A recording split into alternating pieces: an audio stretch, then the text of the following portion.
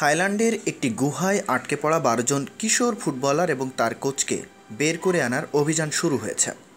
বন্যার পানিতে নিমজ্জিত গুহার যে শুকনো উঁচু জায়গাটিতে গত দু সপ্তাহ ধরে এই দলটি আশ্রয় নিয়ে আছে, তার উদ্দেশ্যে আঠারো জন অভিজ্ঞ ডুবুরি ইতিমধ্যেই রওনা হয়েছে।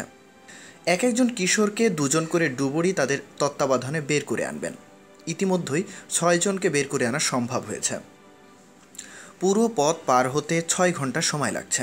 সব কিছু ঠিকঠাক থাকলে আটকে পড়া তেরো জনকে দু থেকে তিন দিনের মধ্যে বের করে আনা যাবে বলে ধারণা করা হচ্ছে। তবে ঝুঁকির কথাও অস্বীকার করছেন না কর্তৃপক্ষ। তবে তারা কেন গুহার ভিতরে গিয়েছিলেন? এখন পর্যন্ত এই প্রশ্নের সুনির্দিষ্ট কোনো উত্তর পাওয়া যায়নি। বারো জন কিশোর ফুটবলার তাদের টিমের কোচ সহ গুহার ভিতরে গিয়েছিলেন শনিবার তেইশে জুন। বিবিসির থাই সার্ভিস বলছে কিশোর ছেলেরা ফুটবল প্র্যাকটিস করতে সকাল দশটার দিকে ন্যাশনাল পার্কে গিয়েছিল। তারপর তাদের সহকারী কোচ একাপোল ফেসবুকে একটি লাইভ ভিডিও পোস্ট করেছিলেন সকাল দশটা বিয়াল্লিশ মিনিটে। থাম লুয়াংখুনাম নাংনং ন্যাশনাল পার্কের একজন কর্মী দুপুর তিনটার দিকে লক্ষ্য করেন যে গুহার প্রবেশ মুখের পশা। গুহার প্রবেশ মুখের সামনে এগারোটি সাইকেল রাখা আছে। তখন তারা অনুসন্ধান করতে শুরু করেন। তারপর ওই কিশোরদের একজনের পিতামাতাও ন্যাশনাল পার্কের কর্মকর্তাদের জানান যে তারাও তাদের ছেলেদের সাথে যোগাযোগ করতে পারছেন না। পরদিন চব্বিশে জুন শনিবার পার হয়ে রবিবার সকাল একটা থেকে তাদের খোঁজার কাজ শুরু হয়। শনিবার রাতে সেখানকার পুলিশকে বাচ্চাদের নিখোঁজ হয়ে যাওয়ার বিষয়ে অভিহিত করার পর এই অনুসন্ধান শুরু হয়।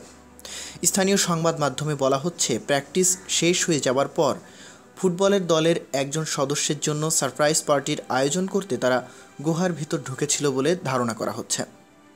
ওই দলের একজন সদস্য যে বাকি বাচ্চাদের সাথে গুহার ভেতরে যায়নি, তিনি জানান যে এর আগেও তারা আরও তিনবার গুহার ভিতরে ঢুকেছিলেন। কিন্তু বৃষ্টির মৌসুমে কখনও তারা গুহার ভেতরে যায়নি। গেম নামের এক সদস্য বলেন, আমরা প্রত্যেকবারই প্রস্তুতি নিয়ে ভিতরে গিয়েছি। আমাদের সাথে সবসময় টর্চ লাইট ছিল। ঢোকার আগে আমরা নিশ্চিত করেছি যে সবাই শারীরিকভাবে ফিট আছে খাওয়া দাওয়া করে তারপর আমরা ভেতরে ঢুকেছি। গেম বলেন, সেদিন তিনি ওই দলের সাথে গুহার ভিতরে যাননি কারণ তিনি সুস্থ বোধ করছিলেন না। আমাদের প্রশিক্ষণের অংশ হিসেবেই আমরা গুহার ভেতরে যাই।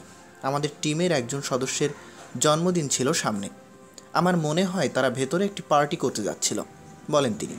পরে গুহার ভেতর থেকে পাঠানো এক চিঠিতে সহকারী কোচ একাপল তার আত্মীয়দেরকে দুশ্চিন্ত না করতে অনুরোধ করেছেন। সহযোগিতার জন্য তিনি সবাইকে ধন্যবাদ জানিয়েছেন এবং ক্ষমা চেয়েছেন বাচ্চাদের পিতামাতার কাছে। স্থানীয় সংবাদ মাধ্যমে বলা হচ্ছে, ফুটবল দলটি গুহার ভেতরে ঢোকার পর থেকেই প্রচুর বৃষ্টি হতে শুরু করে। সেখানে জমে যাওয়া জঙ্গলের পানিও ঢুকে যায় গুহার ভেতরে। পানি এত বেড়ে যায় যে এক পর্যায়ে বন্ধ হয়ে যায় গুহার প্রবেশের মুখও। গুহার ভেতরে পানির উচ্চতা খুব দ্রুত বেড়ে গেলে কোচসহ কিশোর ফুটবলাররা ভেতরে আটকা পড়ে যান। আরও উঁচু জায়গা খুঁজতে খুঁজতে তারা চলে যান গুহার আরও গভীরে। এই থামলুয়াং গুহা দশ হাজার তিনশো ষোলো মিটার লম্বা এবং থাইল্যান্ডের যত গুহা আছে, দৈর্ঘ্যের বিচারে এটি চতুর্থ। সাত জুলাই স্থানীয় একটি সংবাদপত্রের ওয়েবসাইটে বলা হয়েছে, উদ্ধারকারী গুহার উপরে পাহাড়ে এমন একটি সুড়ঙ্গ খুঁজে পেয়েছেন, যা দিয়ে বাচ্চারা যেখানে আছে সেখানে পৌঁছে যাওয়া সম্ভব।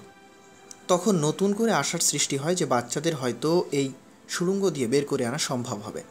গুহাটির বিষয়ে কিছু লোক কাহিনীও প্রচালিত আছে। এই গুহাটি নিয়ে স্থানীয় লোকজনের মুখে মুখে অনেক গল্প চালু আছে। একটি গল্পে বলা হয়েছে, এর নাম কীভাবে? থাম লুয়াং খুন নাম নাং নাং থাম লুয়াং খুন নাম নাং নন হলো। এর অর্থ হলো, পাহাড়ের ভেতরে বিশাল এই গুহায় ঘুমিয়ে আছে একজন নারী। এই পাহাড়ে জন্ম হয়েছে এক নদীর। গল্পটিতে বলা হয়েছে যে দক্ষিণ চীনের চিয়াংরং শহরের এক রাজকন্যা একজন অশ্বারোহী পুরুষের সাথে সম্পর্কের পর গর্ভবতী হয়ে পড়েন। তারা তখন সমাজের ভয়ে ভীত হয়ে শহর থেকে পালিয়ে দক্ষিণের দিকে চলে আসেন। যখন তারা এই পাহাড়ি এলাকায় এসে পৌঁছান, তখন রাজকন্যার স্বামী তাকে বলেন, সেখানে বিশ্রাম নিতে। স্বামী তখন খাবারের সন্ধানে বের হয়ে যান। তখন রাজকন্যার পিতার লোকেরা তাকে দেখতে পায় এবং তাকে হত্যা করে। রাজকন্যা সেখানে কয়েকদিন অবস্থান করে তার স্বামীর জন্য অপেক্ষা করতে থাকে। তিনি যখন নিশ্চিত হন যে তার স্বামী আর ফিরে আসবে না, তখন তিনি তার চুলের একটি ক্লিপ নিজের পেটের ভিতর ঢুকিয়ে দেন। তারপর তার মৃতদেহ তখন একটি পর্বতে পরিণত হয় এবং তার শরীর থেকে যে রক্ত ঝরেছিল, সেটি প্রবাহিত হয়ে নামমায়ে সাই নামের এক নদীর জন্ম হয়।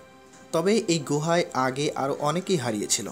স্থানীয় থাই সংবাদ মাধ্যমে প্রকাশিত খবর অনুসারে স্থানীয় বানজং গ্রামের একজন নেতা বলেছেন, উনিশশো ছিয়াশি সালে এই গুহার ভিতরে একজন বিদেশি পর্যটক নিখোঁজ হয়ে গিয়েছিলেন। সাত দিন নিখোঁজ থাকার পর তাকে নিরাপদে অক্ষত অবস্থায় উদ্ধার করা হয়েছিল। কিন্তু সেই সময় কোনো বন্যা ছিল না বলে তিনি জানিয়েছেন। চীনের একটি বিশ্ববিদ্যালয়ের একজন শিক্ষকও দু হাজার ষোলো সালের আগস্ট মাসে ওই গুহার ভিতরে নিখোঁজ হয়ে গিয়েছিলেন বলে বলা হচ্ছে। তিন মাস তার কোনো খোঁজ পাওয়া যায়নি। স্থানীয় একটি পত্রিকা লিখেছে চীনা ওই শিক্ষক ন্যাশনাল পার্কের একটি দোকানে তার সাইকেল জমা রেখে দোকানদারকে বলেছিলেন, তিনি মেডিটেশন বা ধ্যান করার জন্য গুহার ভেতরে যাচ্ছেন। তখন তার খোঁজে তল্লাশি অভিযান শুরু করা হয়েছিল। গুহার ভেতরে তাকে পাওয়া না গেলেও তিন মাস পর তাকে পাশের একটি অবকাশ কেন্দ্রে পাওয়া যায়।